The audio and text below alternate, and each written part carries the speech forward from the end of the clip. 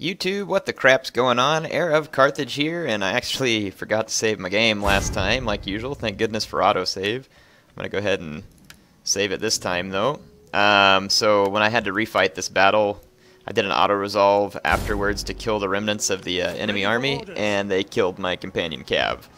So unfortunately I no longer have that companion cav, but we'll get them back eventually, so it wasn't something that made me feel like going back and playing it over because my recording time is fairly limited during the week. Um, they released this during the week and it kind of caught me off guard. Had I had a weekend to prepare I could have recorded a whole bunch of stuff in advance, but it didn't work that way. I need to go ahead and uh, end this turn. So we've recaptured Pulpudeva, we've destroyed the armies of Tylis that were nearby, we're going to need to go take their home province from them to finish them off, to make sure we don't get any more nuisance from them. And then we need to also start training a second army to lend its uh, help to me in becoming a little more powerful. As clouds gather, Triballi want a non-aggression pact, that is just fine.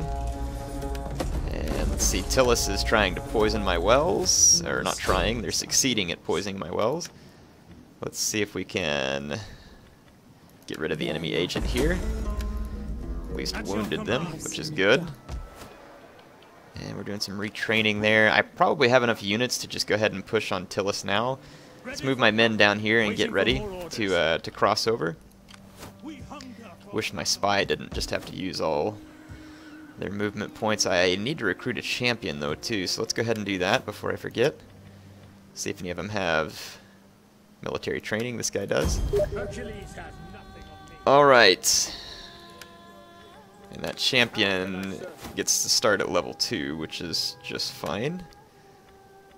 Let's go to Zeal. And not researching any technologies. Let me rectify that. That's certainly not what I want to be happening. Um, I'm going to try and rush into this uh, hoplite barracks. See if I can crank out some sweet military units. I'll be needing those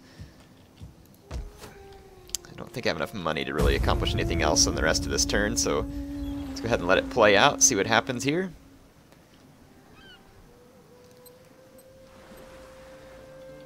Looks like Carthage just took Syracuse over. Tylis wants a peace treaty. Uh, that's not going to happen.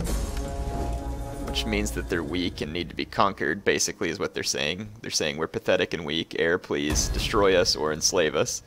I'm thinking destroy sounds good. I know a lot of you want me to enslave them because you're saying it's good for the economy. Uh, I, I may try that later on. I want to figure out a little bit more about it though before I do it because I don't really understand the whole enslaving and uh, all that stuff. So let me read into it before I do it and end up causing like a big rebellion or something, which would be typical for me to do.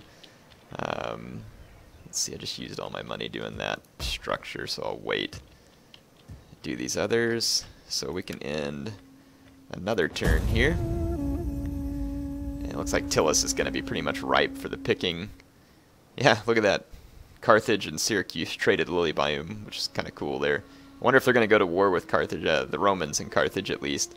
Romans are actually looking fairly strong last time I got a decent look at them. Ready for orders. And it's saying that Tylis has really good chances here. If they think they can explain why, I'd be curious to know. I mean, yeah, they have an oath sworn on that boat and a few Thracian warriors, but I really don't see how they have any chance, so let me go ahead and rob them of their life and remind them why the auto-resolve shouldn't have favored them, and we'll be done with it. Small little port town here that we're going to take on. The Heralds of Death are no match for the Heralds of Feces. So, I'm pretty sure we got this one handled. the Troubled Waters. Yeah, that's a good name for your navy. No... I hope you're not um, superstitious. Let's start deployment while it's dry because I want my slingers to be able to just have their way with these guys. Basically what I'm going to do is just pull my slingers up and the enemy is not going to want to just sit there and eat it. And then they're going to have to move up into my waiting defensive units. It will not go well for them. That's why I'm not sure why the auto-resolve thought this was going to be such a pretty thing for them. Um, it must be just a numbers thing or something. Enemy reinforcements approaching. So some of you ask me how I move my troops like this. If you have the option turned on, um, you can basically just select a bunch of units and then you can just left click. Um, like so for instance if I get all these slingers I can just left click and then just drag while holding the left click. and you can drag them to wherever you want. And if you hold control, you can rotate them as well. So, you know, it's up to you. Like, see, I can do that, and then move them, you know, vice versa, whatever you want to do. Um, it's pretty handy. It It's not perfect, but it works pretty well. Uh, hard group will actually make your men keep the actual formation they're in, whereas you can see in this case my slingers go ahead and outrun their infantry support. So you got to be careful where you use it. Uh, hard group is more appropriate in certain circumstances. These Thracian warriors just took a nice volley. Looks like they're going to send up their Celtic slingers. I'm going to focus fire their Celtic slingers and knock them out. It looks like their Celtic slingers have rapid reload. My guys do not. But that's okay. My I've got four and uh, my guys got the first volley here. Only three kills on that massive volley, though. Let's see how many kills they get on their first Our volley. general is under attack. None. Good. Oh, they're shooting at my general. Typical AI behavior. They're just going to bypass. I think I get more shield strength from Hoplite Wall. Dude. Let's see if it protects him from any of that fire. Yeah, we're going to destroy the uh, the enemy slingers here. I don't want to waste too much ammo on them. I want to use my ammo on their uh, Thracian warriors. And then they've got their boats coming in from back here. But I don't think anything on their boats is really going to save them here. I've got pikes to handle even their elite infantry. And then their noble cavalry is going to face the same issue. Speaking of which, I'm going to keep my pikes nearby in case the noble cavalry decides to sally forth. Um, which it very well could. But those Thracian warriors are going to make pretty, pretty easy targets, I think, for my slingers. They're not particularly well armored or shielded. You can see they just have that small shield along their uh, forearm there. So these guys are going to get cooked by my slingers, I think. Plus, I haven't even researched the, uh, the right stuff. I can probably get extended ammo for my slingers, too. Looks like the Thracian warriors are going to move out of range there.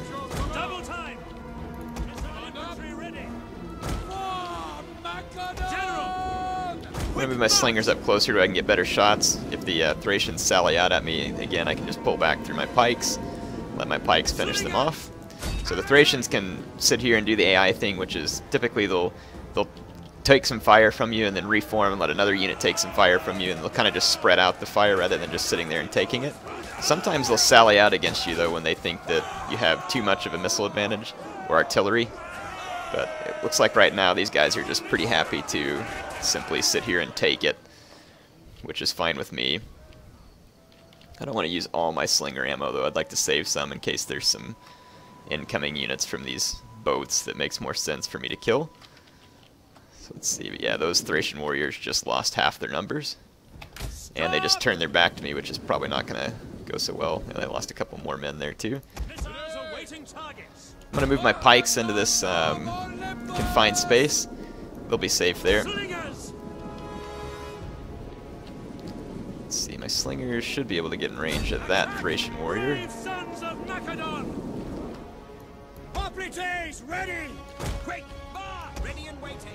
I'm gonna kind of seal off all the uh, exits to the city. Okay, my slingers are now in position. Let's see if my pikes. You know, you remember how fast the AI was getting their pikes down? Oh, I didn't have mine engaged. So I was actually pretty lucky right there. Yeah, look, even when I just put my guys into phalanx, don't know. It was pretty quick. It wasn't bad. Yeah, watch this. This is going to be a massacre. Thracian units charging headlong into pikes that are very secure in their flank. This is not a good plan, and they're even bringing in their noble horse general, and it's probably to do with my slingers shooting them in the flank. AI tends to get pretty uh, upset about you hitting them in the flank. There are some enemy slingers still back here, or Celtic skirmishers, so I'm going to pull my slingers over at an angle and actually get them. Yeah, you can see this is going to be very, very bad for the uh, AI here. This is not what they want. Alright, we got a couple of Celtic skirmisher units back here. So I'm going to get all my slingers in here firing. There we go. It'll take a minute because these uh, Celtic skirmishers have good shields, but my slingers should start to affect them. Guys have decent armor piercing. Those uh, Celtic skirmishers are starting to take a small toll on my pikemen, but uh, skirmishers aren't quite as good after this patch, at least most of them. Doesn't seem like it because armor went up on pretty much all units, but their attack actually went down. Their armor piercing attack did go up, But it seems like overall that uh, they kind of got nerfed. General. Yeah, okay, they're skirmishers. They got more Celtic skirmishers coming up. Looks like I'm going to run out of ammo.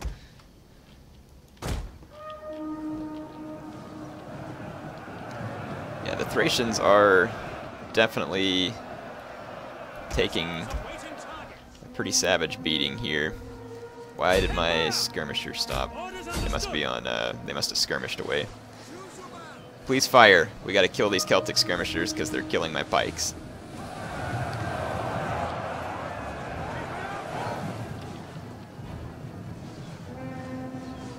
Disturbing how long it takes for slingers to uh, kill these guys. If I go take the town center, I'm actually worried the AI might turn around and try and Oh, their Celtic skirmishers are firing at my shield bearers.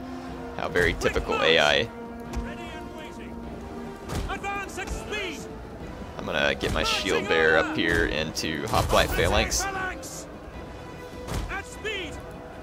And support this fight. Freaking skirmishers. And now they're starting to kill quite a few of my shield bearers, unfortunately. So let's bring in our cav from behind and see if we can cause some trouble. Slingers should have an angle. Yeah, okay, most of the Thracian units are getting trashed up against my pikes, and if I lose a levy pike, it's no big deal. I need to replace them with standard pikemen anyway, because the standard pikemen will be better.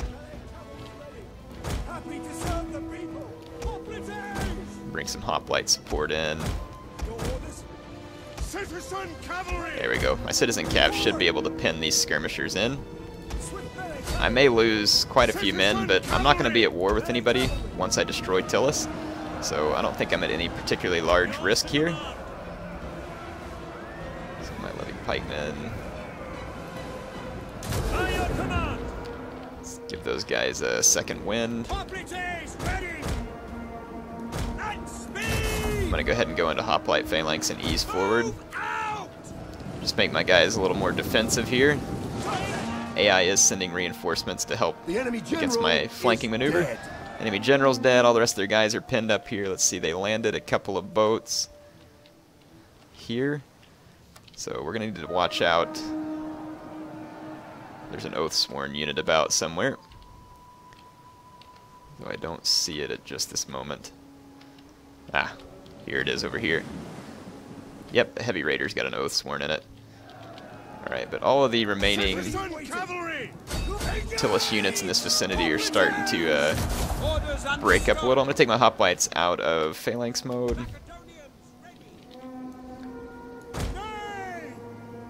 An entire unit has perished. One of my units?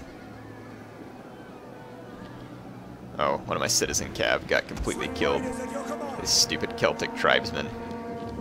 Uh, I guess I'm gonna have to pull these guys back and I think a Celtic tribesman would really do all that well against a citizen cav, but whatever. And then my pikes are having a hard time finishing the uh, fight over here. Get out of my way, slingers. I wonder if I can pull through these slingers. I'm gonna try to, because I don't think they can cause me much damage anyway. I'm gonna try and get in behind these units here.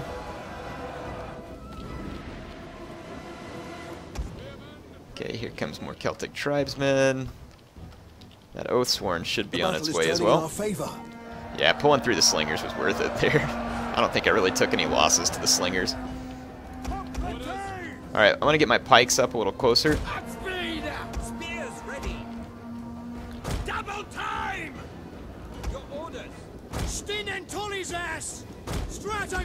And my slingers have more ammo. My general Let's move him up. These guys are just out of line of sight at the moment. Alright.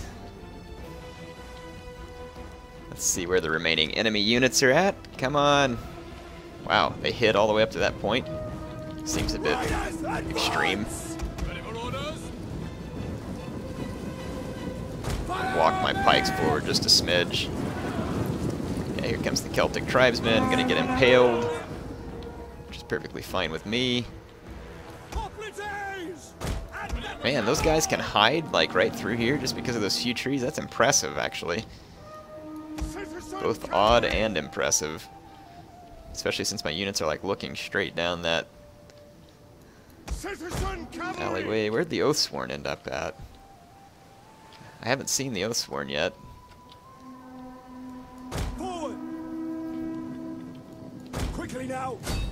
I'm gonna run down these routing units just real quick. I have no idea where the uh, Oathsworn unit got off to, but let's fast forward real quick and see if we can find it. I have my horsemen just running down those routing units just real fast. Oh, there's something here. Celtic tribesmen. Where those guys are running around to. Let's see if we can lure them back. Oh, there's the Oathsworn. Wow, those guys have like some super stealth capes or something.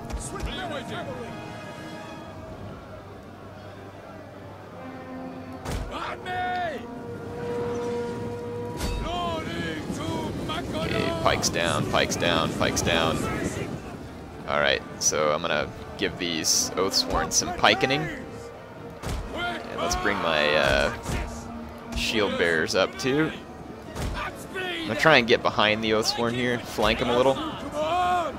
See my uh, hoplites are actually kind of getting around behind him, and then my pikes have them a little more fixed from the front. If I spread my units out thin, I think I can weasel them past the, uh, the flank of the Oathsworn here. Might lose a pikeman, but I think we've got the Oathsworn where we need it. Our men flee the field of battle. This is a shameful Come on. display. See if I can get my shield bearer into position. I mean, Oathsworn is definitely a pretty strong unit, so I don't expect it to die quickly or easily. But surrounded and having taken so many army losses, I do think we can get rid of it here. There it goes. Alright, let's end this battle. Take the city. Yeah, I don't know where they thought these guys were getting good chances. They just, I mean, they honestly didn't really have the proper tools to deal with my pikes. They had a few skirmishers, but I also had skirmishers, and I had cav, and they only had one unit of cav, which wouldn't be enough to protect all their skirmishers. I mean, even if they played it right, um, I don't know that there's much way they really could have won that. I think the AI was just going off numbers, or maybe a couple of units or something. It seems like I still had quite a few numbers, but I'm not going to subjugate. I could raise loot. Money, public order. All captives will be enslaved. Um, let's just go ahead and occupy just to keep things stable for now. Ready for orders. So we've now taken Antheia, or however you say it, which I probably just said it wrong, come to think of it, but that's okay.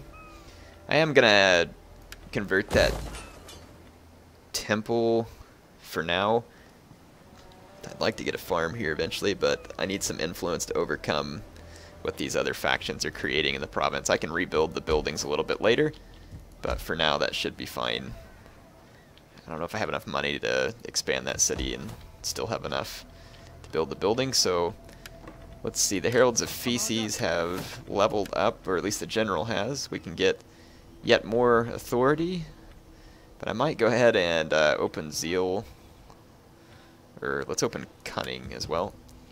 And in this turn, we're going to be finished with the next bit of research at the end of this turn, which was some naval research. Uh, not a big deal to me at this moment, but we will want to be able to wield some naval power eventually. So it'll be helpful later on. Looks like the Tylis army ran way, way up there away from me. It's kind of annoying. Can't trade with Bithynia anymore because it looks like Sardes has taken over the area.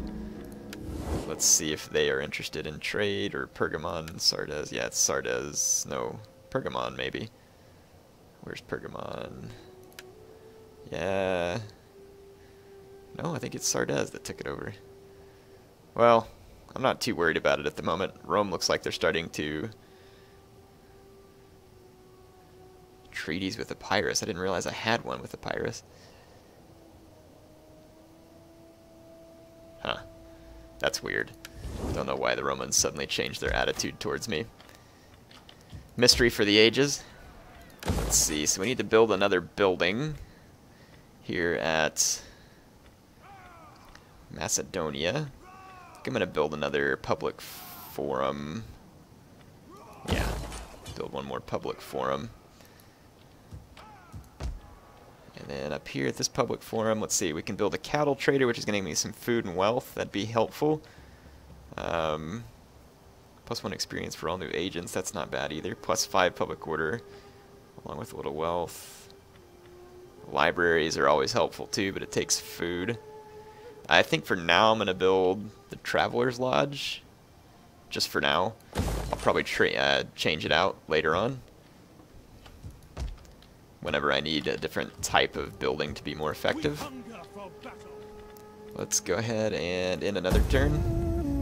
I'm getting closer to being able to unlock the Hoplite Barracks, which I think gives me access to Thorax Swords, Thorax Pikemen, uh, maybe Royal Peltast, I can't remember. That would be a handy unit to have. Uh, from the cavalry department, I think you get Thessalian Cav. Um, may already have that. I don't think I do, though. Let's see what it is I can recruit here, because I know I have a Holosodros barracks here. But this army needs to be trained up. Sweet, we can get archers here too, which is going to be fantastic. Yeah, we cannot get... We can't get the... Uh, Thessalian Cav just yet. Looks like my income's shooting up some too, which is great. Makes sense. Do we get any additional use? Skirmisher Cav, not worried about that, so I don't really need to upgrade that building. Let's go ahead and get uh, uh, some units trained into this army. We're going to need some cavalry and some pikemen. Uh, someone was telling me I can recruit four units. That doesn't appear to be the case. Looks like three for now. Um, See, Antheia got converted. Really need to use my money to build this up. Harbor uses food. Gets squalor from the fishing port, though. Shipwright gives me a little wealth. Uh, I think the small food penalty would be worth it here. I'm going to take it. Okay. Let's bring this spy down here just in case that Tilla spy that I can see comes ashore. And let's end this turn. I'm just about out of time for this episode, so I will cut this one a little shorter than I did the one yesterday, just for the sake of, again, I don't have a ton of recording time. I need to get to bed. Got the little one and everything. So, yep, Come this weekend, though, I'll get a bunch of stuff filmed and uh, hopefully give you all a good overloading with videos.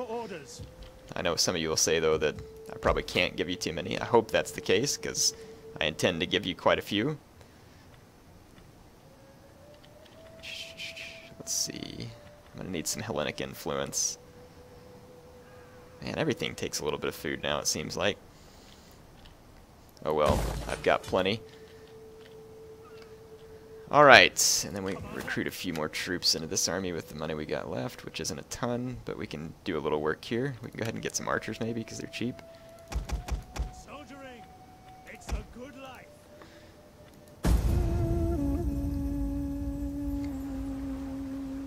Alright, I do believe I'm going to go ahead and end this for this turn. On the next episode, uh, my armies will be mostly retrained. I don't have a ton of men in them, but I should have what I need. I'm going to go ahead and go take out the Odrysian kingdom, unless there's some reason I shouldn't, but that'll be my focus to go take them out, and then I will mostly control this province. Um, I may even go turn on the Triballi if, if I need to. I, I don't want to create like a bad name for myself amongst others, but I'm going to think about, oh look, here's the new um, minor settlement options that we have. Uh, we can build a market settlement, which takes away a little food, but gives us growth, uh, wealth, uh, this one gives us public order. All of them cost a little extra food, which is fine. That makes sense. I've got plenty at the moment, so market settlement gives me 100 wealth. That one gives me 100 wealth also.